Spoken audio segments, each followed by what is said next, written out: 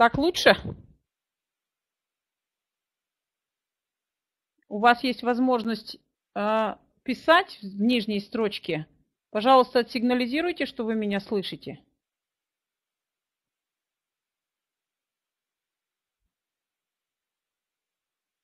Судя по всему, никто ничего не слышит.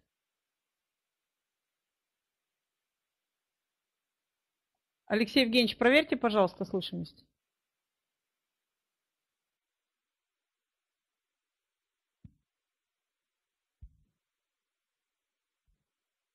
Так, отлично. Вижу, что все хорошо.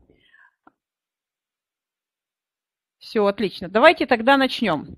Ну вот э, вы знаете, что сейчас э, объявлен конкурс проектов социально ориентированных НКО. Это распределение федеральной субсидии, которую получила наша область.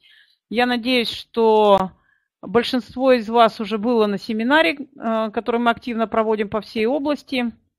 Э, семинар ведет Татьяна Калинчук.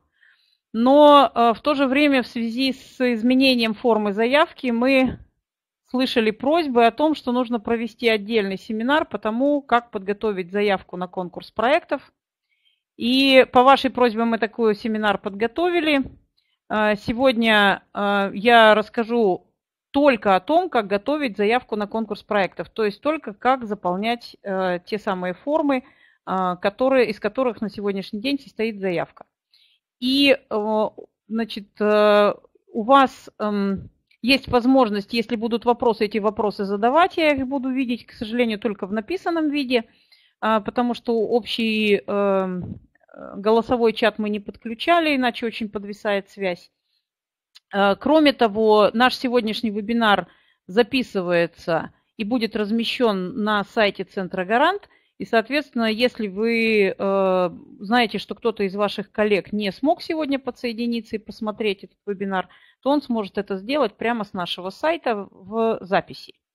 А, и э, таким образом, я думаю, что это поможет вам облегчить э, ту самую подготовку заявок на конкурс. Сейчас, извините, отключу звук телефона.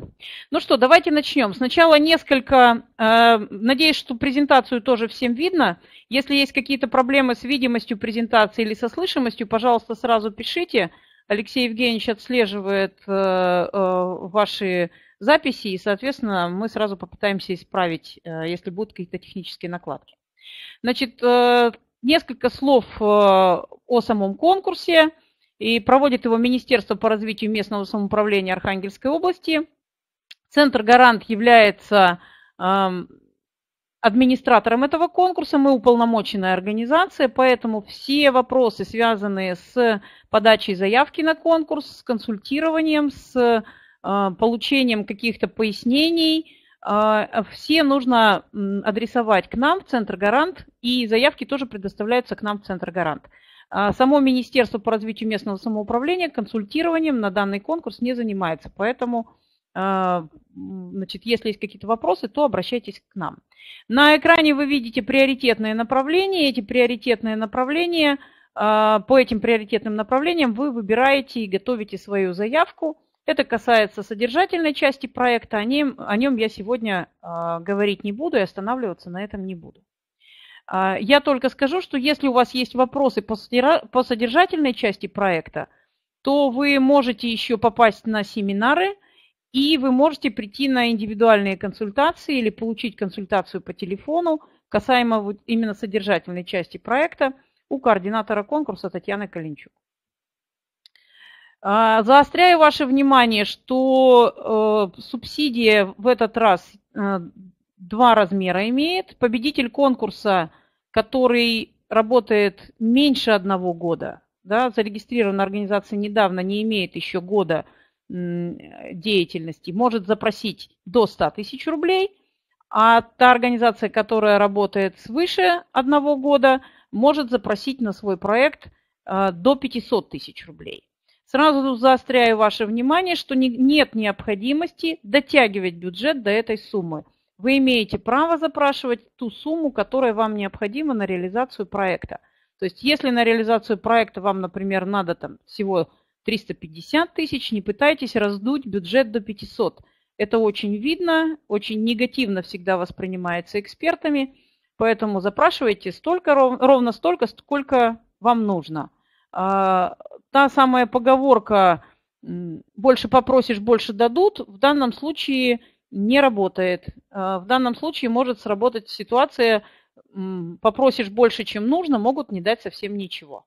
Поэтому, пожалуйста, при расчете бюджета относитесь к этому очень критично. Значит, вы на экране видите адрес, по которому должна быть представлена заявка. Последний срок предоставления заявки 21 октября 2013 года. Обращаю ваше внимание на, э, на то, что если вы находитесь в области и отправляете заявку по почте, а не приносите ее лично, то 21 октября это должна быть последний срок, в который заявка должна быть доставлена к нам в офис, а не э, дата на штемпеле. То есть если вы принесете на почту вашу заявочку 21 октября, то она опоздает к крайнему сроку приема заявки. Поэтому будьте, пожалуйста, внимательны. Каждый раз у нас проблемы с тем, что заявки не успевают в срок на предыдущем конкурсе, который был весной этого года, все заявки, которые поступили после положенного срока, по техническим причинам были отклонены. Поэтому э, будьте, пожалуйста, внимательны, э, не делайте этой ошибки, приносите заранее. Значит, э, заявка на участие в конкурсе должна предоставляться строго по утвержденной форме. Никаких отклонений быть не может. Если у вас э, вы подготовите заявку в какой-то другой форме, то она не будет допущена к конкурсу. И еще э, одна вещь, на которую надо обратить внимание.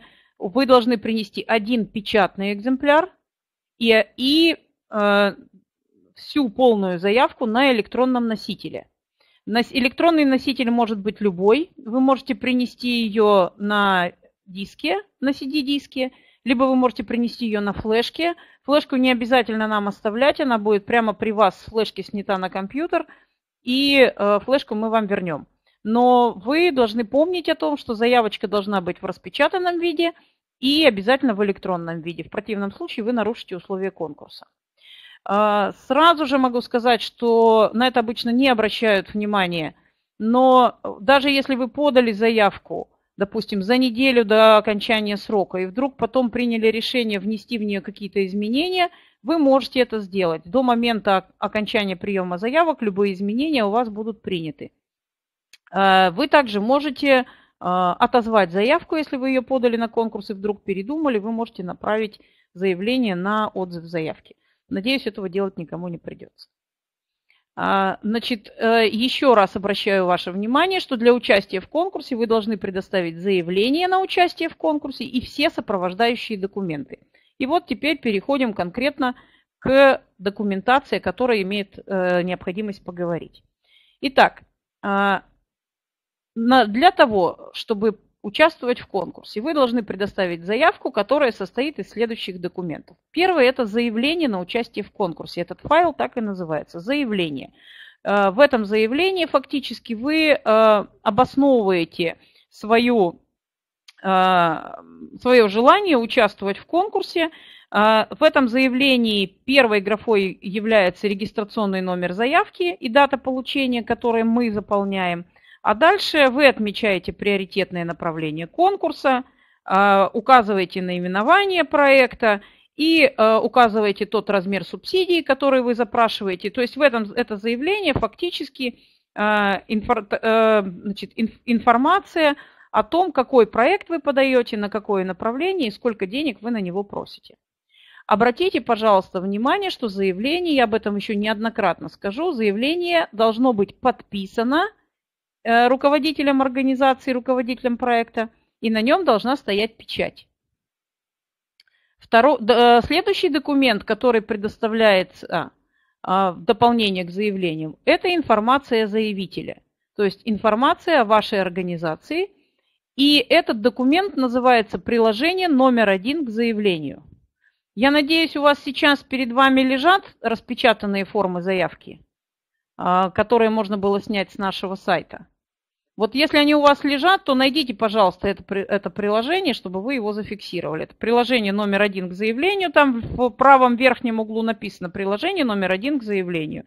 И называется этот документ «Информация о заявителе». Следующий документ, который должен быть, это приложение номер два к заявлению. Это паспорт проекта. Значит, э, ну вот давайте я... Так, не видно, наверное, будет. Не видно. Не видно. Вот, это вот была информация о, заяви, э, о заявителе, да, приложение номер один. И следующий документ будет... Сейчас, одну секундочку. Это вот такой горизонтальный документ, который называется паспорт проекта. Вот он. Значит, это приложение номер два к заявлению. И приложение номер три к заявлению – это уже конкретно сам проект, в котором подробно описывается все, что вы собираетесь делать, есть календарный план и бюджет. Я еще раз подробно сейчас на всех этих документах остановлюсь. Значит, кроме этих трех основных документ, э, э, четырех основных документов, заявление, информация о заявителе, паспорт проекта и сам проект, вы должны представить сопровождающие документы, которые э, обосновывают значит, вашу организацию, подтверждают, что она существует и действует именно в этом направлении. Значит, вы должны предоставить копию устава, а, вы должны предоставить оригинал, обратите внимание, не копию, а оригинал выписки из Единого государственного реестра юридических лиц. И эта выписка должна быть выдана не раньше, чем за полгода до окончания приема заявок на участие в конкурсе. Значит, если у нас с вами 21 э, октября э, принимается заявка, значит, э, не позднее чем 21 апреля должна быть датирована ваша выписка из Единого государственного реестра.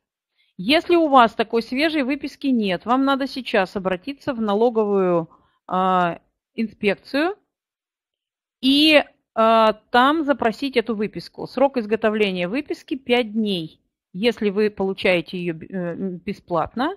И если, вы, если вдруг вы забудете и будете обращаться за срочной выпиской, то на следующий день вам могут сделать выписку, но за это придется заплатить 500 рублей. Поэтому не тяните время, запрашивайте выписку сейчас. Дальше вы должны предоставить копию отчетности, которую вы предоставили в Министерство юстиции за предыдущий отчетный год. Если вашей организации меньше, чем год, у вас может не быть этой отчетности. Если вашей организации больше, чем год, то эта отчетность у вас должна быть обязательно. А, значит, вы предоставляете копию отчетности и предоставляете документ, подтверждающий, что у вас эта отчетность принята. То есть у вас должна быть такая справка, которую вам в Минюсте выдавали, что у вас отчет принят.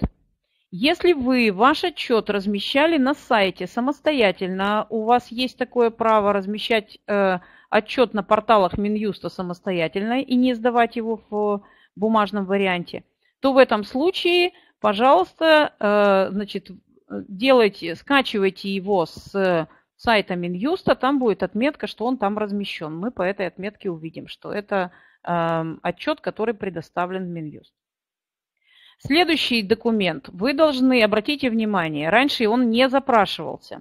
Вы должны предоставить документ, подтверждающий отсутствие просроченной задолженности по начисленным налогам, сборам и иным обязательным платежам в бюджеты всех уровней. Эту справку вам выдает налоговая инспекция. Вы должны написать заявление на выдачу этой справки, и вы ее получаете в налоговом органе, где вы стоите на учете. Обратите внимание, что этот документ готовится долго, до 10 дней. Поэтому, если вы его еще не запросили, то, пожалуйста, а, нужно срочно запрашивать, иначе вы можете опоздать. А, дальше. Документ, который подтверждает обязательства – заявителя или его партнеров обеспечить софинансирование расходов. А, вы, а, если уже смотрели форму заявки, то вы видели, что в форме заявки есть э, отдельная, в бюджете проекта есть отдельная графа а, софинансирование. Это те средства, которые вы предоставляете в проект. И кроме того, во всех документах э, и в заявлении, и в описании проекта, и в паспорте проекта вы указываете сумма общая стоимость проекта и сумма запрашиваемого финансирования. Так вот, э, на тот, ту часть, которую вы показываете как софинансирование, э, вам необходимо предоставить подтверждающие обязательства. Например, если вы указываете, что э, в рамках проекта, например, аренду помещения для мероприятий вам предоставит школа, то, то э, представьте, пожалуйста, письмо от этой школы, что да, действительно, вы договорились, и они для ваших мероприятий предоставляют помещение бесплатно.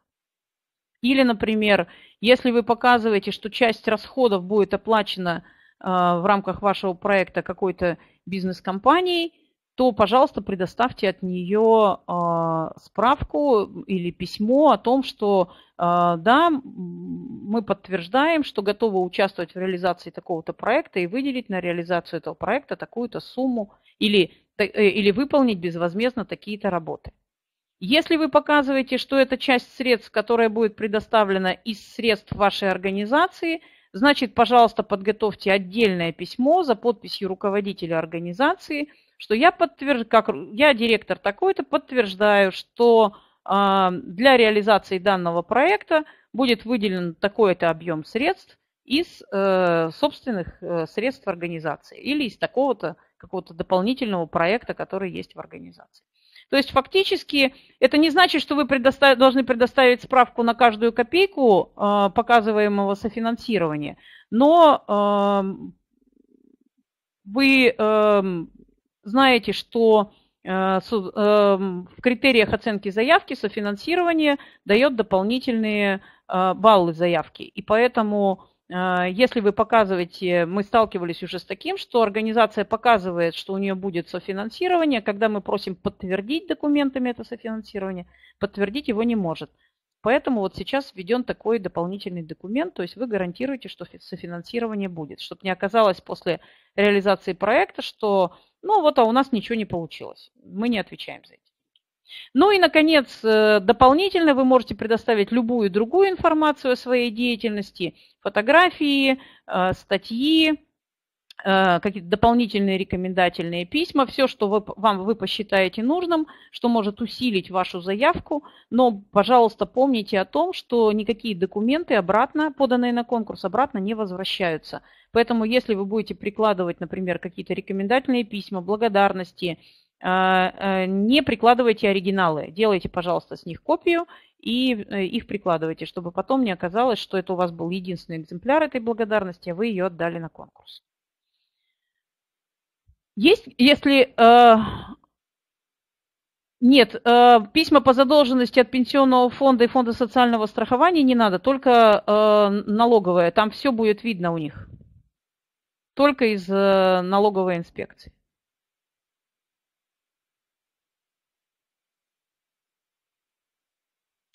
Теперь давайте посмотрим, а, как подготовить э, уже конкретно э, те документы, которые необходимо заполнить для того, чтобы у вас была заполнена сама заявка. Значит, э, пожалуйста, итак, первое, это заявление на участие в конкурсе. Я сюда к презентации не стала прикреплять все документы. Я думаю, что вы уже все видели заявление, ничего сложного там в этом заявлении нет. Но э, что важно и на что нужно обязательно обратить внимание? Помните, пожалуйста, что заявление должно быть подписано руководителем организации и руководителем проекта. Если руководитель организации и руководитель проекта одно и то же лицо, то тогда должна два раза стоять одна и та же подпись. И обязательно должна стоять печать организации. Этот документ должен быть в оригинале, не в копии, а именно в оригинале. А, очень часто бывает, что нам приносят заявления, на которых не стоит подпись. Поэтому обратите, пожалуйста, внимание на это. Значит, э, следующее приложение к заявлению – информация о заявителе. Опять же, помните, что заявление должно быть подписано руководителем организации и заверено печатью. Э, заявление, вот приложение 1 к заявлению, информация о заявителе, она, э, это достаточно объемный документ – но он не содержит никаких разделов, в которых нужно было бы специально готовить информацию. То есть здесь в основном вся информация, которая касается деятельности вашей организации, я думаю, что она вами неоднократно для разных других э, конкурсов готовилась, ее надо просто систематизировать и внести в документ. Значит, здесь э, есть разделы о полном и сокращенном наименовании вашей организации, организационно-правовой форме.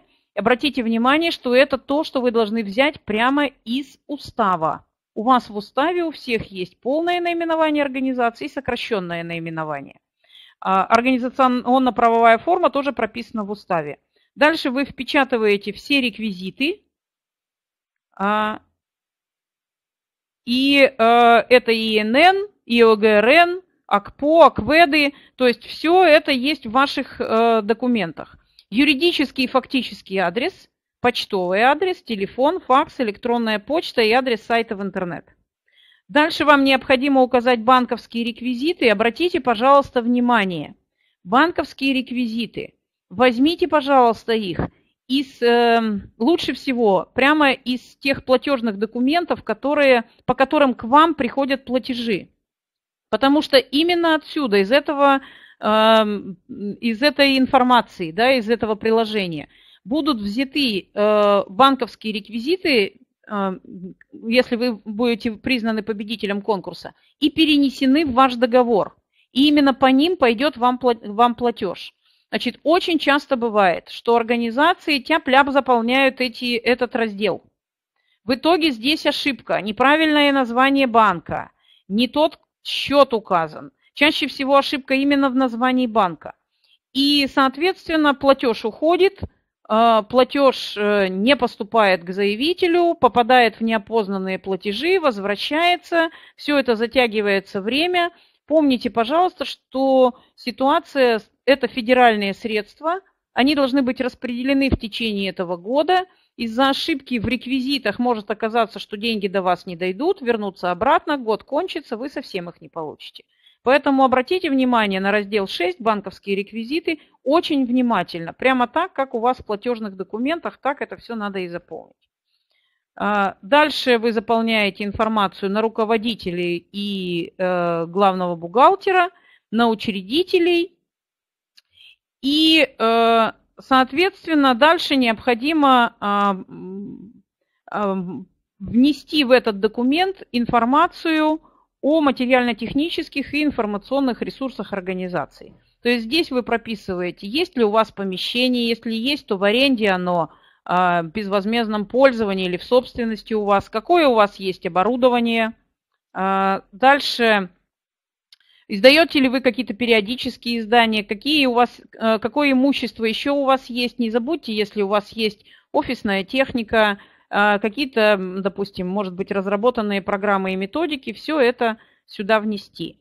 И в пункте 17 вы прописываете основные сферы деятельности ваши не более трех, именно те направления, которые для вашей организации являются ключевыми.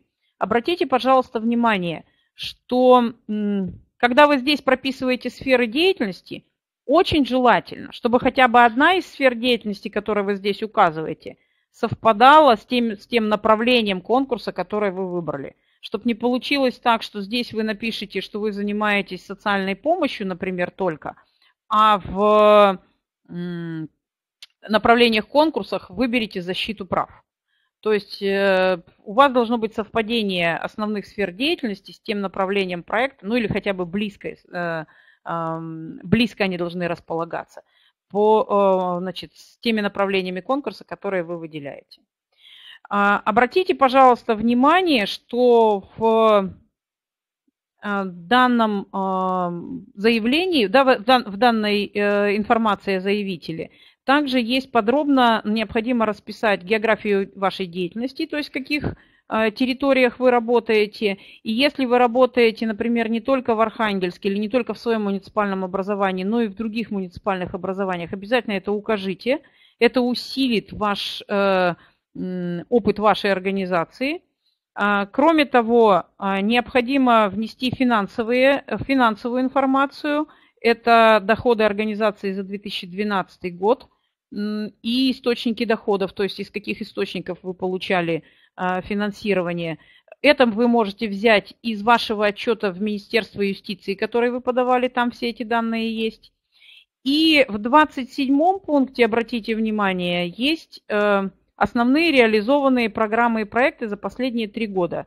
Здесь всего три строчки, но вы можете расширить этот документ и внести э, такое количество программ и проектов, которые вы считаете нужным. А, обратите внимание на то, что мы не ставим цели, чтобы вы написали здесь все свои программы и проекты. А, покажите, э, данный пункт необходим для того, чтобы эксперты убедились в вашем опыте. Поэтому покажите самые значимые программы и проекты. Особенно важно, чтобы вы показали то, что вы делали уже по той теме, по которой вы подаете, по тому направлению, по которому вы подаете проект. Ну и опять же не забудьте, что все должно быть подписано руководителем, вставлены фамилия, имя, отчество руководителя и обязательно поставлена дата. Есть какие-то вопросы по э, документу информация о заявителе? Если есть, пока далеко не ушли, пишите, я сразу на них отвечу. Значит, следующий документ – это паспорт проекта. Это совсем новая форма. Раньше мы никогда ее не составляли. И я понимаю, что многих именно эта форма испугала. И поэтому появился запрос на такого рода семинар. Значит, э, паспорт проекта – это документ, который на самом деле, несмотря на свою внешнюю страшность, э, очень сильно облегчает жизнь как заявителю, так и эксперту. Это фактически логическая схема проекта, в которой содержится вся основная информация о проекте. Причем выстроенная в логической последовательности так, что ее можно ну, э, буквально с одного взгляда э, оценить. Но поскольку это документ, который держит в себе всю информацию о проекте, то заполнять паспорт лучше всего после того, как прописан полный проект. Вы можете логическую схему, вот этот проект, этот паспорт в черновике заполнять сразу и даже, может быть, костяк проекта в нем набрасывать. Но окончательно в чистовую паспорт проекта надо заполнять после того, как будет прописан весь проект. И именно поэтому в семинаре я о том, как заполнять паспорт проекта, расскажу в самом конце. Ну и, наконец, приложение 3 к заявлению – это сам проект – Обратите внимание, он состоит из трех документов. Само описание проекта в формате Word, календарный план и смета проекта в формате Excel. Значит, все изменения, которые произошли, у нас и раньше был и календарный план, и смета проекта. То есть фактически э, проект остался ровно в таком же виде, как он и был раньше. Описание, календарный план и смета. Только раньше все эти документы заполнялись в вордовском формате. Сейчас календарный план и смета вынесены в excel формат, и это может, э, с одной стороны, немножко добавить сложностей, когда это первый раз заполняется. С другой стороны, если понять, как это заполнять, то это, на мой взгляд, облегчит ситуацию, но уж во всяком случае в смете прекратятся математические ошибки, которые бывают постоянно. Значит, э, сейчас мы с вами начнем рассматривать с документа проект, то есть мы начнем с вами рассматривать вот с четвертого пункта – да, приложение 3 к заявлению. А потом я расскажу, как заполнять приложение 2, то есть паспорт. Все пока понятно? Реакции нет. Буду надеяться, что понятно. Да, реакция есть. А, спасибо. Эм, значит, эм, давайте посмотрим, из чего состоит проект. А, проект приложения 3 Значит, я сюда вынесла только основные пункты, те 11 пунктов, которые есть в проекте. Если вы откроете сам документ, если он у вас перед глазами, то вы увидите, что там по каждому из пунктов есть прямо комментарии, что туда нужно писать. И это ничем не отличается от того, что мы раньше, э, значит, что было в формах раньше.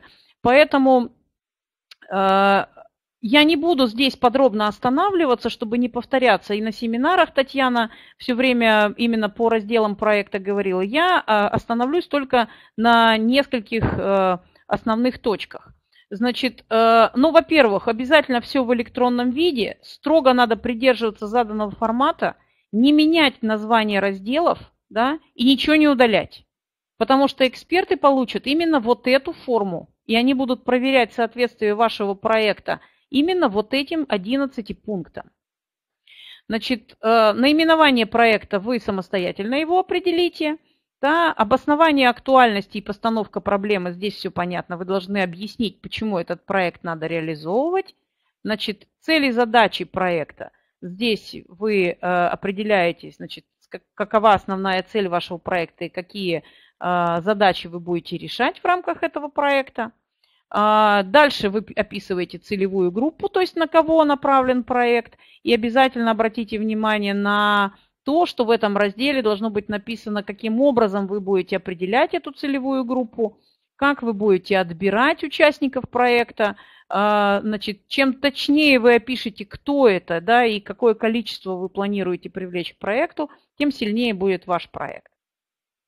Значит, а, продолжительность реализации проекта – это вы а, указываете в продолжительности тот срок, в течение которого вы будете делать проект, то есть сколько месяцев он будет продолжаться, когда он начнется и э, когда он завершится. Обратите, пожалуйста, внимание, что не надо ставить начало реализации проекта раньше, чем э, конец ноября, начало декабря. Лучше начало декабря, потому что если учесть, что экспертный совет, э, второй экспертный совет будет в середине ноября, то заключение с вами договора все равно раньше дека, начала декабря не произойдет. И, соответственно, Э, прав э, относить расходы по реализации проекта на, на проект, пока с вами не заключен договор, у вас не будет. Э, соответственно, лучше, если вы поставите старт начала проекта в декабре, и вы можете начать его и раньше, но при этом вы должны понимать, что в этом случае все расходы, которые будут произведены до момента заключения договора, они будут сделаны за ваш счет и могут быть показаны как софинансирование. Значит, э, дальше вы указываете географию деятельности по проекту. Обратите внимание на этот пункт. Раньше его не было. Раньше мы это прописывали прямо внутри деятельности. Сейчас он вынесен отдельно. Значит, э, если вы планируете, что проект будет идти не в одной, а в нескольких территориях, обязательно укажите это здесь. Укажите э, городские округа, количество городских округов и муниципальных районах, на территории которых будет реализовываться проект – и э, второй пункт – это городские округа и муниципальные районы, представители которых будут задействованы в проекте. Значит, в чем разница? Например, вы будете реализовывать проект только в Архангельске. То есть он, все основные мероприятия будут идти здесь. Но э, для части мероприятий, например, для семинаров, вы будете приглашать людей из других муниципальных образований. Вот, значит, ваш проект будет реализовываться в э, только в Архангельске, вы поставите, что он реализуется в Архангельске. А вот э, количество значит, участников, вот вы, например, из пяти э, муниципальных районов будете приглашать, вот вы укажете, что вы э, представители пяти муниципальных районов в проекте будут задействованы. А зачем нужно обратить внимание на этот проект? Значит, при оценке проекта, в том числе одним из критериев, будет охват благополучателей – и, э, соответственно, э, если ваш проект будет э, работать не только в, в одной территории, а охватывать несколько территорий, то, то он будет более сильным по сравнению с проектом, который будет работать на какой-то одной территории. Но при этом, опять же, если ваш проект предусматривает работу в какой-то одной территории, и это обосновано, не пытайтесь растянуть его на несколько муниципальных образований или там, на несколько городских округов. А, значит, это будет видно, что это, что это сделано специально для того, чтобы набрать количество территорий. И помните, что потом вам придется отчитываться за территориальный охват. Поэтому подходите к этому с умом. И если вы считаете, что проект ценен именно тем, что он работает на локальной территории, так и обосновывайте, пишите, а, и поясняйте, почему он, например, будет идти только в Архангельске. Пункт седьмой – это описание деятельности в ходе проекта. Здесь вы пишете все мероприятия, которые будете реализовывать, и даете комментарии по, краткие комментарии по содержанию этих мероприятий, почему именно они, а, э, значит, в чем особенности этих э, мероприятий, и почему вы выбрали именно их, как они работают на достижение целей проекта. А, механизм реализации проекта и исполнителей. В этом разделе вы описываете, а, каким образом будет управляться проект, кто привлечен в качестве команды исполнителей. Если мероприятия проекта предусматривают привлечение специфических специалистов, пожалуйста, укажите, что это за специалисты. Если вы их еще не знаете, например, тренер вам нужен, психолог на проведение семинаров, и вы будете его э, определяться, кто это будет в ходе проекта, значит, хотя бы укажите, какие характеристики должны быть у этого человека, и напишите, что он будет подобран а, в ходе реализации проекта. Да, что сейчас у нас пока нет точной кандидатуры, но он должен обладать вот такими-то, такими-то навыками, и этот человек будет определен в процессе реализации проекта. То есть из этого раздела экспертам должно быть понятно, что вы сможете, что у вас есть специалисты, чтобы реализовать мероприятие, и что вы понимаете, как вы будете управлять проектом. Пункт 9. Очень важный пункт э, – это ресурсное обеспечение проекта. Сама смета проекта будет в формате Excel сделана в отдельном документе. А вот в этом пункте вам необходимо дать подробные комментарии к каждой статье. И чем лучше вы распишете э, эти комментарии, чем более конкретно и понятно будет, почему вы запрашиваете ту или иную сумму, то или иное количество э, там, оборудования, почему вы, например, закладываете печать каких-то буклетов, э, значит, почему они стоят именно столько-то, сколько их будет выпущено, какого они будут формата – как вы их распространите, кому вы их отдадите, да, передадите? Почему вы заказываете, например, 300 буклетов, а не 500 или не 100? Вот, вот все эти вещи должны быть прописаны здесь в э, разделе «Ресурсное обеспечение проекта». А, фактически каждая цифра вашего бюджета должна быть обоснована здесь, в этом разделе. То есть эксперты должны открыть ваш бюджет, в котором цифры, открыть вот этот раздел э, девятый, и понять, почему у вас столько-то средств заложено на проведение таких-то мероприятий, почему вы покупаете именно такое оборудование, почему вам обязательно нужно, чтобы э, значит, была выпущена книжка, или почему вам обязательно нужно, чтобы были сделаны, например, какие-то листовки. Вот это все должно быть здесь прописано в ресурсном обеспечении проекта. И также здесь вы должны прописать по поводу тех привлекаемых э, ресурсов того софинансирования, которое вы показываете. То есть здесь вы должны прописать, откуда возьмется это софинансирование, кто вам его предоставит, да, или кто, если это будут добровольцы, то где вы их возьмете, э, если, допустим, вы показываете, что у вас будет 100 часов э, работы добровольцев по проекту, и это ваше софинансирование, то тогда что они будут делать, эти добровольцы – и э, значит, откуда вы их возьмете, есть ли они у вас уже сейчас.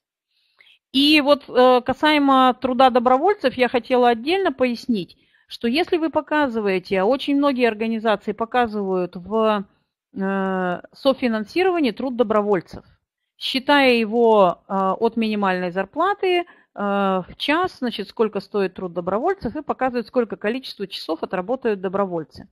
Будьте, пожалуйста, готовы э, в вашем проекте пояснить, почему вам нужно именно такое количество добровольцев на столько-то часов для реализации вашего проекта. То есть, если, например, вы собираетесь делать какие-то э, в рамках проекта какие-то семинары и учить, например, э, родителей, которые хотят взять приемного ребенка, и показываете, что у вас на, вашем проекте будет работать 50 э, волонтеров, каждый из которых работает по 100 часов, то есть 500 часов они там отработают, э, то вы должны будете пояснить, зачем вам нужно 500 часов труда добровольцев, чтобы организовать школу обучения для приемных родителей. И э, в этом отношении, если вы напишете, что именно добровольцы будут преподавать на этой школе, все становится понятно. А если вы напишете, что добровольцы будут, например, регистрировать э, участников и э, помогать, значит, решать организационные вопросы, то, наверное, 500 часов многовато будет. И встанет вопрос, а не завышена ли у вас эта сумма для того, чтобы просто увеличить ваше софинансирование.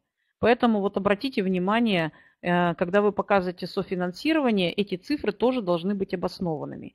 Еще есть э, такая ошибка при указании софинансирования. Вы, например, показываете, что у вас есть три компьютера в организации, которые будут работать на этот проект. И показываете полную стоимость компьютеров. Что, например, у вас три компьютера по 20 тысяч рублей каждый стоит, вот 60 тысяч софинансирования.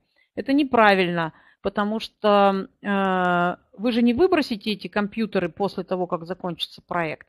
То есть они только частично э, самортизируются на э, этом проекте. То есть фактически вам необходимо показать, например, что э, Сейчас я, э, есть вопрос по вилке стоимости часа добровольца, сейчас я поясню. Э, значит, вот если говорить про компьютеры, например, то считается, что износ компьютера составляет 5 э, лет. И, соответственно, если вы показываете, что ваш компьютер будет работать на этом проекте в течение одного года, а стоит компьютер 20 тысяч рублей, вот значит 20 делим на 5, износ вашего компьютера будет 4000 рублей за время проекта. То есть вы должны показать софинансирование в размере 4000 рублей за компьютер, а не 20 тысяч, как он стоит. Понятно это, да? Значит, вилка стоимости часа добровольца. Э, Все зависит от того, что это за доброволец. Если мы говорим о добровольце, который осуществляет неквалифицированный труд, то э, можете э, исходить из стоимости минимальной оплаты э, труда. Ну вот там примерно э, из расчета со всеми там нашими северными порядка там, 8 тысяч рублей в месяц. Делите на количество часов в месяце.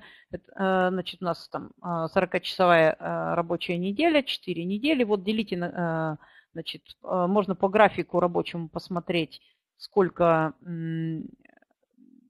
значит, сколько у нас, почему я сказал 40-часовая? 8, да, 40-часовая. А, значит, соответственно, делите 8 тысяч в месяц на количество часов э, э, в месяц, и вот получаете примерную стоимость часа добровольца.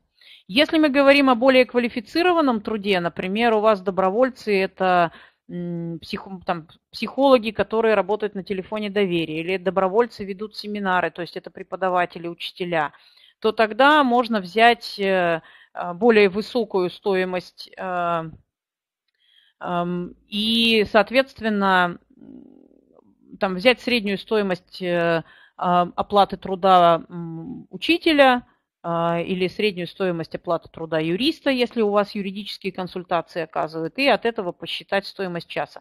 Только будьте готовы это обосновать. Напишите, например, мы посчитали стоимость часа добровольца, исходя из такого-то количества за час, да, такой-то цены за час, потому что это добровольцы, э, юристы, которые оказывают юридические консультации. Поэтому вот они столько-то стоят. А какой-то жесткого размера э, стоимости часа э, у нас пока нет, не принято. Поэтому можете здесь варьировать. Есть еще вопросы какие-то? Но 10 и 11 пункт понятны, ожидаемые результаты и дальнейшее развитие проекта. Обратите внимание только в ожидаемых результатах. Очень плохо всегда этот раздел прописывается. Значит, вам необходимо прописать конкретно, что вы планируете получить по каждому из мероприятий и какие изменения произойдут благодаря тому, что вы сделаете проект. И обязательно указать количественные показатели. То есть не может быть, там мы там, э, повысится Значит, мы проведем обучение. Сколько человек вы обучите, сколько часов обучения они получат. Повысится уровень их знаний. А, как вы поймете, что он повысился? Да? А, значит, в чем он повысится, в, в, каких, э, в каких темах, да? какой процент э, учащихся семинара, например, начнет э, применять эти знания на практике. То есть постарайтесь максимально а, охарактеризовать в количественных показателях те результаты, которые у вас будут. Даже качественные результаты, вот есть вопрос, индекс оценки качества тоже надо. Даже любой, любой качественный показатель тоже меряется количеством. То есть э, э, вам необходимо э, показать, э, для того, чтобы результаты вашего проекта, они э, были осязаемыми, конкретными, вы должны будете мерить достигнутые результаты. И если вы говорите, что, например, э, повысилась информированность э, населения о том, как, э, значит, о добровольчестве, то каким образом вы докажете, что она повысилась? Да? То есть какой процент населения, например, повысилась информированность населения о добровольчестве? Да, значит, чем вы это померяете? Тем, что например, процент знающих, что такое добровольчество и где можно участвовать в качестве добровольца, увеличился по сравнению с началом проекта, там на 20% увеличилось количество тех, кто знает, э, сколько, э, кто знает э, о добровольчестве или знает, где можно стать участником добровольческой акции. Или там увеличилось, э, вы пишете, э, что качественным результатом проекта станет э, то, что люди стали лучше относиться к добровольчеству и готовы участвовать в добровольческих акциях. Значит, как вы докажете, что это произошло? Только тем, что количество участников добровольческих акций, например, увеличилось, или увеличилось количество самих добровольческих акций. Поэтому постарайтесь значит, э, постарайтесь э, найти вот эти э, линейки измерений. Вот если отвечать на вопрос, который вот написан, присвоение разрядов для спортсменов – это качественный или количественный показатель? Это скорее качественный показатель, то есть повысилась квалификация, качественный показатель, повысилась квалификация спортсменов. А померить это можно тем, что у нас вместо трех перворазрядников стало восемь перворазрядников. Вот их квалификация, да, их профессионализм увеличился. Это качественный показатель, но мы нашли инструмент, как это померить. Дальнейшее развитие проекта, этот раздел вы прописываете, чтобы показать, что произойдет потом, когда субсидия закончится, какие будут изменения, что дальше будет делаться. И если вы пишете, что проект будет продолжаться, то тогда неплохо бы показать, за счет каких ресурсов он будет продолжаться. И если вы в этом разделе пишете, что проект будет продолжаться, мы снова попросим у вас на это субсидию, ну, это не совсем хороший вариант прописывания данного раздела. А, значит, э, потому что ни один донор не мечтает посадить э, э, на иглу своего благополучателя. И здесь подумайте о том, в, каком, в какой форме Э, может э, продолжаться ваш проект после того, как закончатся средства субсидии, э, и за счет каких ресурсов? Может быть, за счет того, что вы, допустим, научите добровольцев, и они дальше будут сами что-то делать. Или, например, вы обучите учителей, и они дальше что-то будут преподавать. Или, например, вы уже все опробуете здесь на, на этом проекте, и дальше будете это делать за счет собственных ресурсов организации, потому что на это уже не надо будет столько денег. Бывает, что проекты закончи, после окончания субсидий уже не продолжаются. Это конечные проекты, они достигнут своей цели, и дальше их не надо развивать. В этом случае так и пишите, что проект э, закончится, э, поскольку мы планируем, что цель будет достигнута, проблема решена, и продолжать его э, не будет необходимости. Вот вопрос, как отслеживается, продолжаются проекты или не продолжаются, я могу сказать, что сейчас составляется реестр всех поддержанных проектов – и будет э, проводиться э, мониторинг того, что происходит после того, как проекты завершаются. В том числе и будут э, спрашивать ваших благополучателей и вас самих, смотреть, что происходит в этом направлении. А, поэтому, а, а, во всяком случае, всегда, когда эксперты читают заявку, они понимают, вот в этом разделе написана ерунда – то есть просто, чтобы отвязаться, написали, да, будет, э, дальше будет э, проект продолжаться, деньги мы где-нибудь найдем. Или организация реально понимает, как эта деятельность дальше будет продолжаться, как, как она будет двигаться. А, поэтому не, не пишите здесь просто пустых слов, постарайтесь а, здесь, э, здесь сосредоточить свои, сосредоточить именно а, то понимание, как вы дальше собираете развивать эту деятельность. Значит, давайте э, дальше двинемся. Значит, э, теперь вот уже к приложениям, которые сейчас в новой форме, которые, возможно, возникают, э, по которым возникают вопросы. Календарный план, он ничем не отличается от старого календарного плана. А, значит, и ровно такая же форма. Единственное, что поменялось, календарный план сейчас в формате Excel находится. Значит, как его нужно заполнять? Обратите внимание, что файл защищен от изменений. Вы сами в него ничего вставить, добавить и убрать не можете. Он, э, значит, вы в него можете только впечатывать. Причем впечатывать вы можете только в графы, которые заполнены желтым. Да, вот они замаркированы желтым. Поэтому вот там наверху, видите, мелко там название «проект». Вот именно туда вы впечатываете название проекта, и файл сам подставит его вот в те кавычки, которые стоят около крупной надписи «Календарный план реализации проекта». Вот вы в желтый раздел, в желтую ячейку впечатаете наверху, и сюда он встанет автоматически. Дальше вам нужно будет вписать в столбик мероприятия все мероприятия, которые у вас указаны в пункте, э, в пункте 7. Вот давайте перейдем дальше. Значит, э, вот э, здесь просто приведены просто примеры.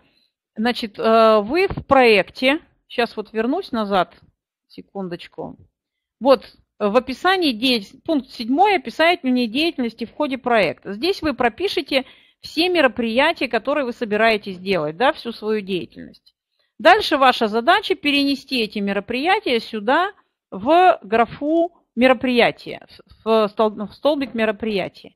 И дальше в, э, в тех месяцах, которые соответствуют времени, когда ваше мероприятие будет проводиться, поставить крестик или галочку, да, или заштриховать этот раздел. Лучше поставить крестик или галочку, так будет удобней. А, значит, и а, здесь обратите внимание на то, что а, вам необходимо поставить ровно такое количество крестиков и галочек, которые соответствуют количеству месяцев, которые ваш проект будет продолжаться. Обратите, пожалуйста, внимание, вот мне программный администратор говорит, ни в коем случае плюсик не ставить. Крестик – это буковка «Х» можно поставить. Или галочку. Плюсик ставить не надо, потому что Excel э, будет считать, что вы пытаетесь заложить в него формулу и э, не, э, значит, э, не будет э, считывать. Он может пропадать потом из ячейки. Поэтому либо буковку «Х» надо поставить, либо э, русскую, либо буковку «В» английскую, то есть галочку. А, и обратите внимание на следующее. Значит, если ваш проект, например, начинается с января, значит графа декабря останется пустая. Если ваш проект закончится в мае, например, полгода у вас там он всего будет, декабрь, январь, февраль, март, апрель, май, значит с июня и дальше графы останутся пустыми. То есть вы маркируете только те столбики, в которых у вас будет, э, будут, будет проходить деятельность. Значит, э, если вдруг окажется, что вы хотите сделать проект, который закончится, например, в мае 2014 года, а в нашей форме, э, то есть не в мае, простите, в мае 2015 года, например, а в нашей форме все заканчивается декабрем 2014, значит, сами вы дополнительные столбики, так же, как и дополнительные строчки, вставить не сможете. Вам необходимо позвонить нам и запросить у нас новую э, расширенную форму. Например, вы звоните и говорите, мне нужен календарный план не на 14 месяцев, как у вас предоставлен, а мне нужен календарный план на 20 месяцев. Пришлите мне, пожалуйста, новую форму. И мы вам пришлем новую форму, э, в которую, которую вы заполните. Значит, э, перерыв в проекте может быть то есть э, часто бывает, спрашивают, можно ли не работать летом. Вы пишете, что деятельность по вашему проекту, например, будет 12 месяцев, но, э, но укажете, что в течение, допустим, летних месяцев будет перерыв, и в эти месяцы не будете ставить галочки. Или, э, ну, эксперты не очень любят перерывы в проектах, вы можете написать какую-то методическую работу. Все равно, скорее всего, вы будете что-то анализировать, готовить какие-то материалы.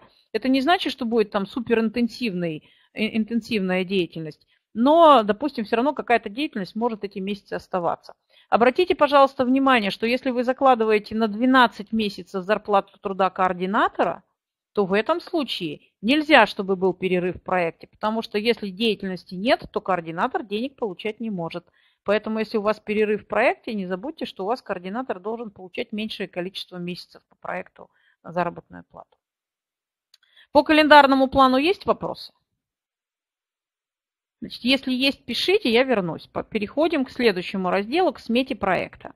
То же самое, ничем не отличается от э, э, нашей с вами привычной сметы проекта. Единственная разница, она переведена в формат Excel. Значит, соответственно, Надежда, я сейчас только по заполнению форм заявки на эм, конкурс, который проводится Министерством по развитию местного самоуправления. По остальным можно отдельно. Значит, смете проекта, обратите внимание, все то же самое, что касается, э, что и касалось календарного плана. Данный документ защищен от исправлений, и у вас есть право вписывать только в графы и столбцы, да, и в строчки, которые маркированы желтым. Там, где маркировано белым, там вы ничего вставить не можете. А, там, где бел, э, белые столбики, там все стоит автоматически. Не пытайтесь, пожалуйста, ничего менять, потому что тем самым вы собьете формулы и сами себе сделаете неприятности. Значит, не забываем, что надо вписать название вашего проекта в самом верху, где маркировано желтым, и он тогда автоматически встанет. Ну и дальше э, я сейчас расскажу, как необходимо заполнять, на что надо обратить внимание. Вот вам пример приведен, э, эм, э, пример проекта. Значит, вот я вверху впечатала, соответственно, вот я впечатала, значит, э, волонтеры спешат на помощь в, желтый, в желтую графу, соответственно, сразу подставилась на место. Вот. И дальше обратите внимание, в разделе есть несколько, в смете проекта есть несколько разделов. Оплата труда и начисление сотрудников э, организации, оплата труда и начисление привлеченных специалистов, экспертов, здесь э, из э, образца это убрано, и прямые затраты по проекту, а, то есть то, что вам необходимо на, а, на, реализацию, а, значит, на реализацию конкретных мероприятий по проекту. Значит, вы заполняете следующим образом. В вид расходов вы пишете виды планируемых расходов. Например, там заработная плата координатора проекта. В количество ставите цифру, которая указывает количество единиц, например, 12 месяцев. Цена за единицу, например, 3000 рублей. Да? И дальше а, таблица сама посчитает, сколько это будет общая сумма финансирования. В этом случае, вот то, что вы видите на экране, это 36 тысяч рублей. Но, например, 6 тысяч рублей – это будет ваш собственный вклад. Например, ваш координатор бесплатно поработает 2 месяца. Да? И, соответственно, 6 тысяч рублей будет собственный вклад. Вы его впечатываете в столбец «Собственный вклад», и, э, соответственно, запрашиваемое финансирование тоже автоматически посчитается, будет 30 тысяч рублей. Таким образом, дальше вы считаете, например, отчисление с фонда оплаты труда, э, и тоже указываете, что часть будет, поскольку собственный вклад будет добровольческий, значит, эти средства вы не платите, э, значит, вы их сюда вставляете, соответственно, вот у вас посчиталось, сколько будет налогов, сколько вам надо запросить налогов. И э, после того, как вы вобьете все э, виды расходов, которые касаются оплаты труда и отчисления э, с фонда оплаты труда сотрудников, в разделе «Итого» посчитается автоматически, сколько вам нужно на этом разделе всего, сколько у вас будет собственный вклад и сколько вам надо запрашивать. Дальше вы переходите, например, вот э, в моем случае я не стала ничего вам приводить в пример в оплату труда и отчисления привлеченных специалистов или экспертов. Да, я э, его просто пропустила. То есть, если у вас, например, экспертов не будет, вы пропускаете этот раздел, все оставляете в нем пустое. Не пытайтесь убирать строки, вам это не удастся. А, и дальше следующий раздел – прямые затраты по проекту. Вот, например, у меня вписана аренда помещения. Например, в скобочках я помечаю, и это очень удобно. То есть, поскольку в, э, в самой таблице вы ставите только цифры, в количестве вы не можете написать 5 семинаров, а, потому что здесь нужна только цифра, иначе формула не сработает. Поэтому вы можете прямо в виде расходов в скобочках написать, вот как у меня написано, 5 семинаров, например, по одному дню. Значит, количество у нас будет 5, цена за единицу 4000, итого 20 тысяч нужно на э, оплату аренды помещения для семинаров. Значит, у нас нет собственных средств на это, соответственно, все это в запрашиваемую сумму уходит. Например, питание участников, 5 семинаров, 15 человек, 2 кофе-брейка. Да? умножаем 5 на 15 и на 2, получается 150 у нас количество. Да, на 50 э, за один кофе-брейк, вот 7500 получается на кофе-брейке. Вот э, подробно расписать, что у нас будет 5 семинаров, на них будет 15 человек, они два раза будут пить кофе, и каждый кофе стоит 50 рублей, это вы можете вот в самом проекте, помните, я говорила в ресурсном обеспечении. Вот. Здесь вы можете писать очень коротко, э, и, но вы должны понимать, что если здесь вы не расписали, то у вас должно быть расписано там, иначе люди не поймут, откуда взялось количество 150. Да? Потому что в мероприятиях у вас будет написано, что у вас 15 человек будет учиться, а вы пишете здесь количество 150. И эксперт не поймет, значит, э, сколько это будет. Процентно был вопрос, нужно ли в отчислениях с ФОД указывать процент на отчисление. Вот прямо в графе «Вид расходов» можно указать процент, который вы отчисляете с ФОД. Лучше указать или в разделе 9 в ресурсном обеспечении, когда вы будете обосновывать, почему вы поставили именно такую зарплату и почему вы платите такие налоги, можно указать, какой процент отчислений вы платите. Значит, э, еще раз обращаю ваше внимание, что все суммы в белых, э, в белых столбцах считаются автоматически. Поэтому, э, значит, нет нужды туда ничего вколачивать. И, соответственно, вот здесь у меня не полностью бюджет попал на, в образец. Вот у меня всего написано, видите, внизу 85, 7, 212 и 78. Вот эти цифры из раздела всего потом автоматически встанут наверх в общую сумму финансирования, в собственный вклад и в запрашиваемое финансирование. Значит, э, сейчас вот здесь не совпадает, но э, в, у вас, когда вы заполните бюджет проекта, у вас э, все суммы из итоговой строки всего встанут в начало сметы и там автоматически сосчитается. А, мы перешли на экселевскую форму именно потому, что в бюджете очень много математических ошибок. Люди под, э, подчищают бюджет, э, значит, подгоняют его под э, необходимую сумму, да, урезают где-то, пересчитывают. В одном месте пересчитают, в другом не пересчитают. На титульном листе одни цифры, в бюджете другие цифры. Если на калькуляторе сосчитать, третьи цифры получаются. В общем, очень много с этим проблем. Поэтому лучше один раз научиться работать с excel формой, но зато с математикой все будет в порядке. Вот, э, значит, э, обратите внимание, что строк в саму форму заложено достаточно большое количество.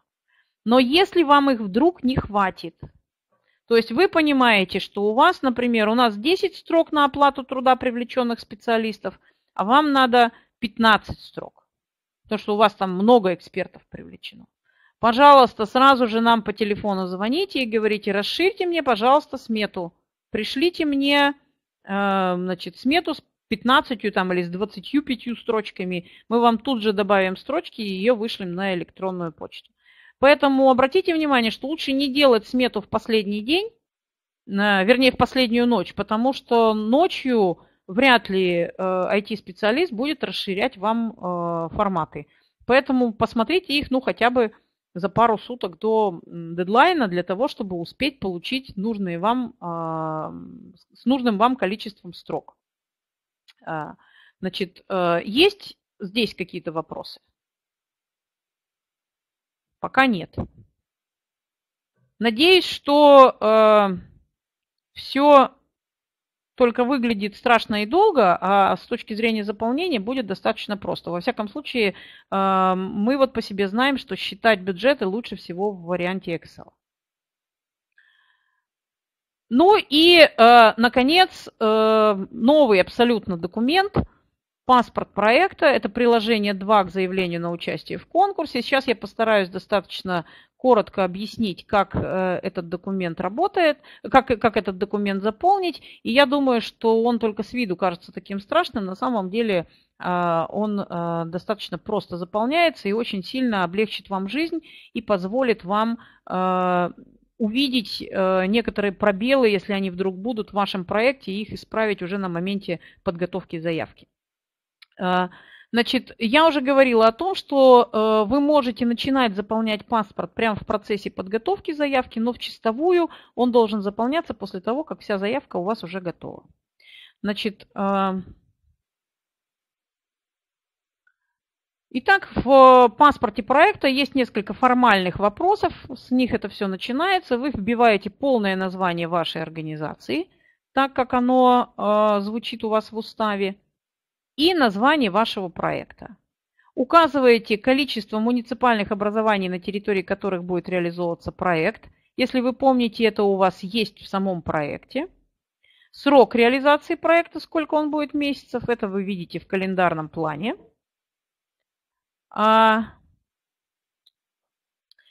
а, дальше общая сумма расхода на реализацию проекта, то есть сколько он будет стоить всего, и сколько вы запрашиваете субсидию из областного бюджета, то есть запрашиваемая сумма.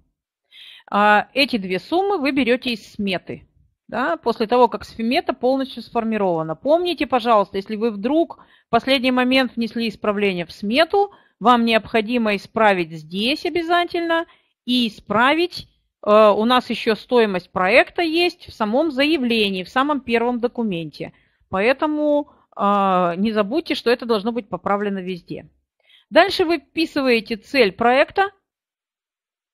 Цель проекта вы берете из э, Надежда, количество муниципальное образование – это не количество предприятий, а это именно количество территорий, которые включены в проект. А, мы об этом в самом начале говорили, будет запись, можно сначала будет это посмотреть. А, значит, эм, цель проекта вы берете из пункта 3 в, а, в вашем в, опис... в проекте. Да? Там у вас сформулирована цель проекта. Значит, и дальше вы пишете краткое описание проекта. Вот обратите внимание, пожалуйста, на этот раздел. Его обычно писать некогда. Все время на последний момент его оставляют. Написан он всегда очень плохо. Но помните, пожалуйста, о том, что именно краткое описание читает эксперт для того, чтобы вспомнить ваш проект на экспертном совете.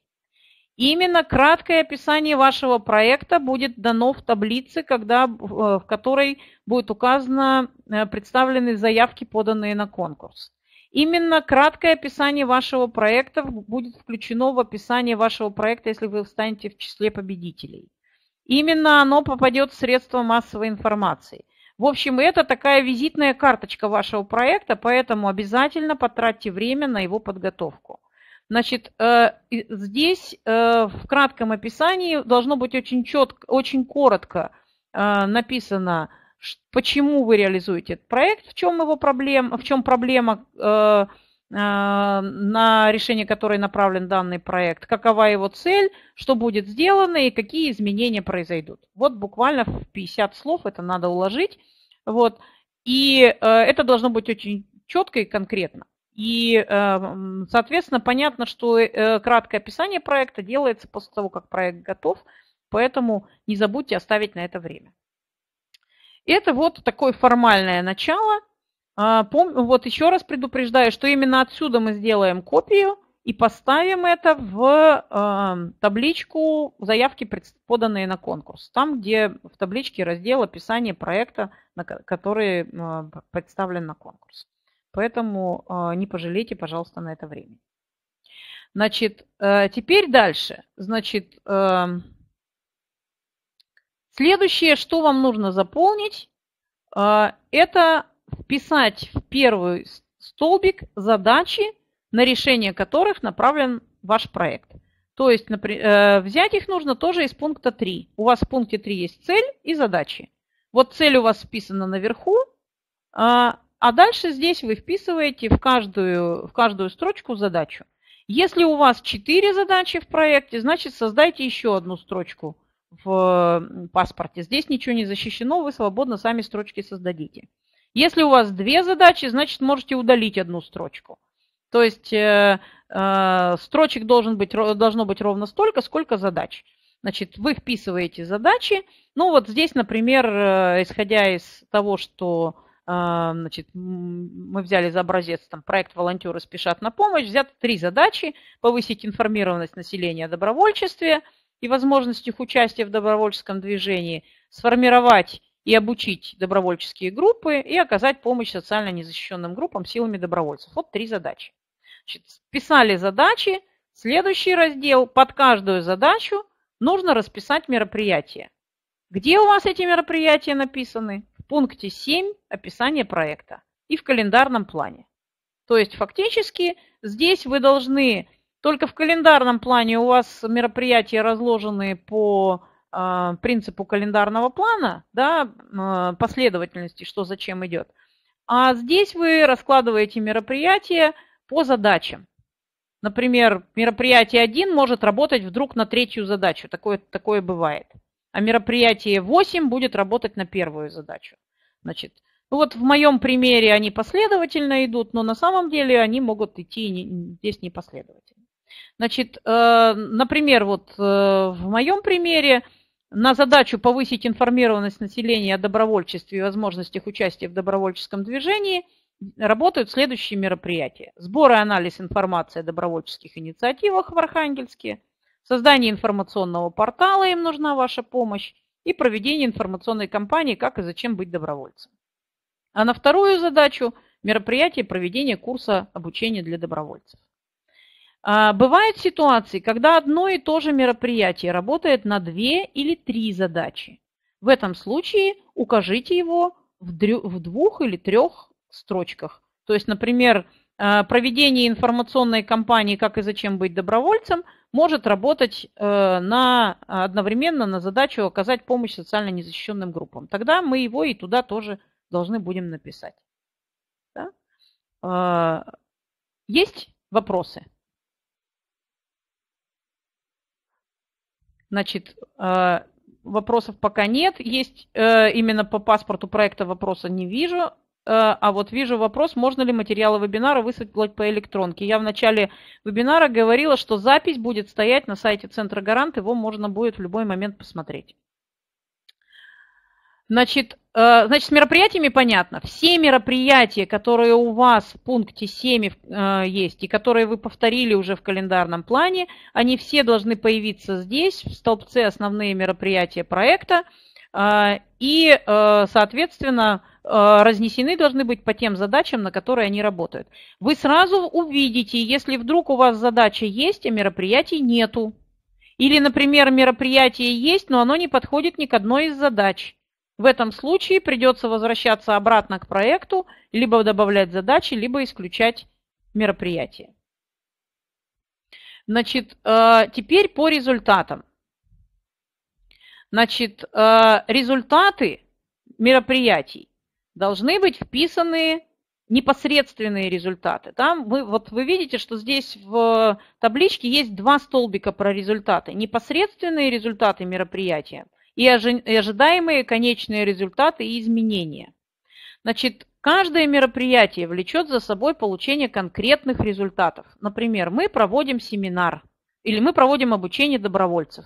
Для того, чтобы обучить добровольцев, мы проведем 10 семинаров, в каждом из них примет участие 20 человек, то есть всего будет принято, э, всего обучение пройдет 200 человек. Вот это конкретный непосредственный результат. Он относится к конкретному мероприятию, проведения курса обучения. Или, например, сбор и анализ информации э, об инициативах добровольческих и потребностях добровольческой помощи.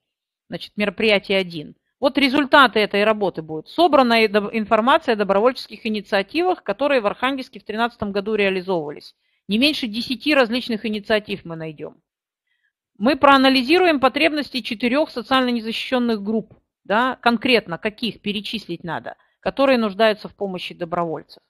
Мы, например, я здесь уже не писала, но мы, например, еще каким что результатом может быть? Мы, например, выявим там, по две потребности а, вот этих вот целевых групп, которые могут быть удовлетворены силами добровольцев.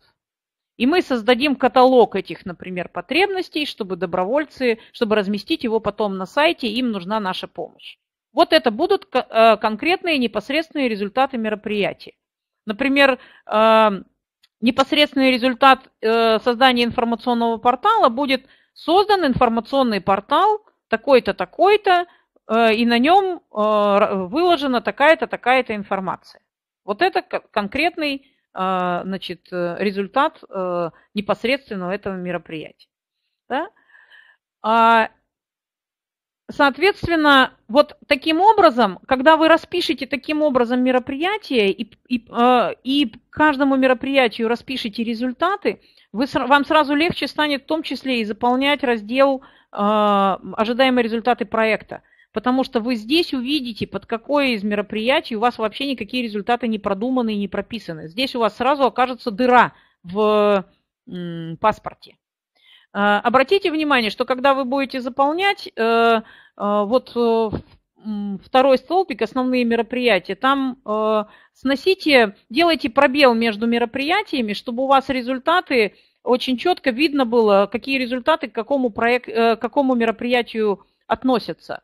Поэтому в этом, в этом случае вы сразу увидите, во-первых, и эксперту будет видно – него уже не будет задавать вопросы, а зачем это мероприятие проводить. Ему будет видно, что вы понимаете, зачем вы это мероприятие проводите, и что оно дает конкретные результаты для вашего проекта. А, то есть постарайтесь, э, чтобы эм, результаты были написаны точно напротив тех мероприятий, которые, э, значит, к которым они относятся.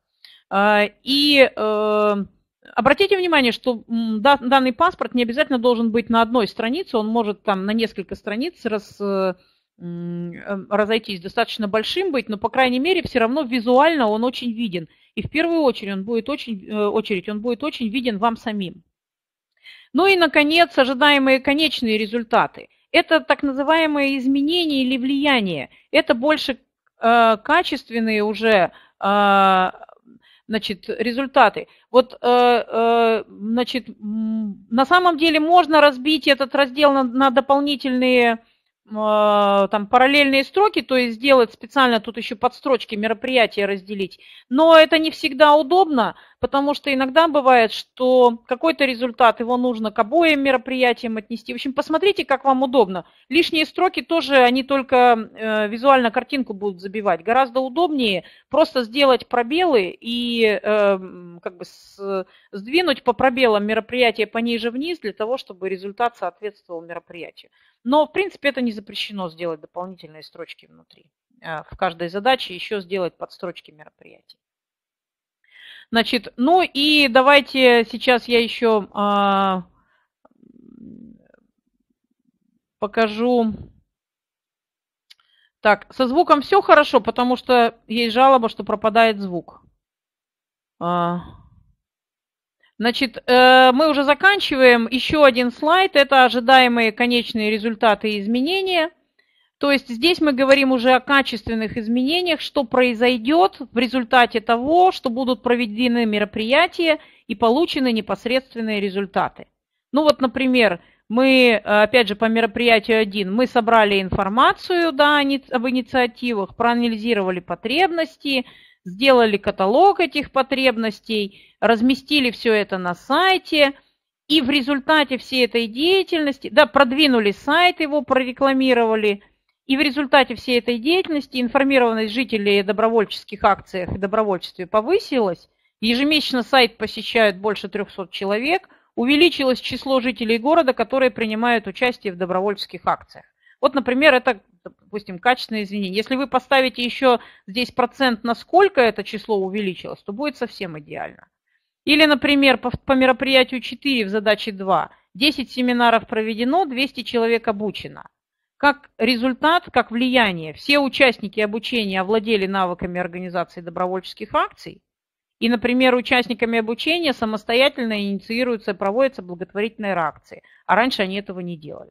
Вот это изменения, которые произошли. То есть это тот самый качественный результат вашей работы и влияние на решение той проблемы, которую вы заявили. То есть если мы в начале проекта, например, заявим, а, заявляли в проблеме, что люди ничего не знают про добровольчество, не участвуют в уже готовых добровольческих акциях и уж сами-то точно ничего не инициируют, то прочитав вот эти ваши ожидаемые конечные результаты, а, эксперт скажет, да, действительно, они решат поставленную проблему или уж, по крайней мере, а, что-то изменят в той ситуации, которая есть.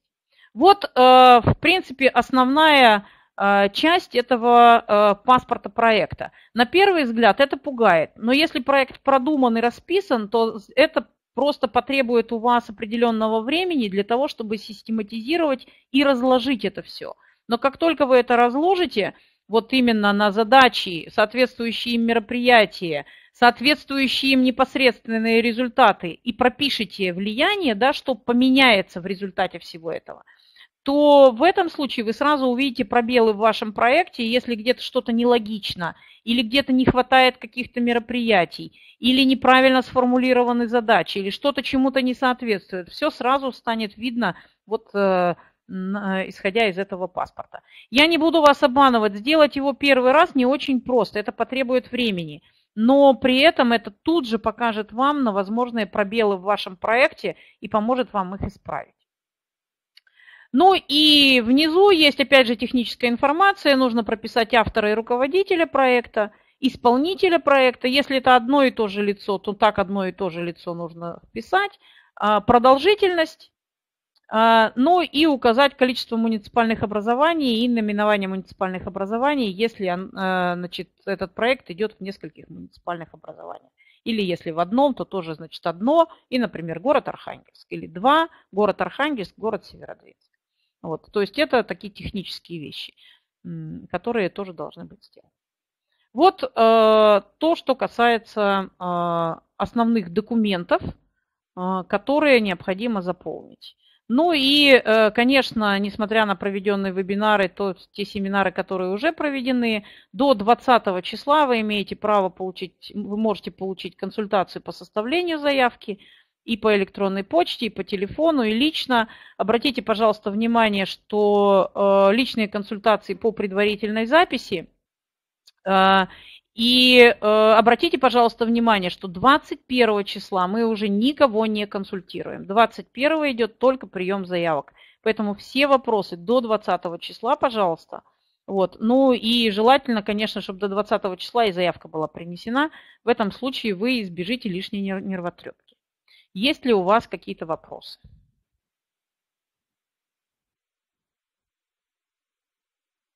Если они возникнут, пожалуйста, задавайте. Семинар будет э, э, размещен. Допустимый процент на оплату труда есть вопрос по бюджету проекта. Значит, нигде э, официально не закреплен допустимый размер оплаты труда. Неофициально это 25, максимум 30%. Как правило, больше, больший процент вызывает очень много вопросов. А, со стороны экспертов, но при этом это не значит, что он не может быть больше. Но в этом случае вы должны быть готовы очень четко обосновать, почему, например, в вашем проекте 60% затрат – это оплата труда специалистов. Если вы сможете это обосновать, и эксперты посчитают, что это обосновано, то в этом случае э, этот расход может быть принят. Если эксперты посчитают, что это не обосновано, то процент будет уменьшен. Поэтому еще раз обратите внимание на раздел в проекте «Ресурсное обеспечение проекта», где вы даете комментарии к смете. А, вот подробно, пожалуйста, пропишите все комментарии, пропишите необходимость специалистов, пропишите, почему специалистам поставлен такой или тот или иной размер оплаты труда. Значит, почему важно этому специалисту платить. А, в данном конкурсе это очень радует разрешено платить и координатору, и бухгалтеру проекта. Но э, как любой э, донор, э, любой донор не хочет отдавать деньги на заработную плату. Ему важнее отдавать деньги на конкретные услуги благополучателю. Но это не значит, что заработную плату нельзя закладывать. Просто ее надо очень четко обосновывать и объяснять, почему без заработной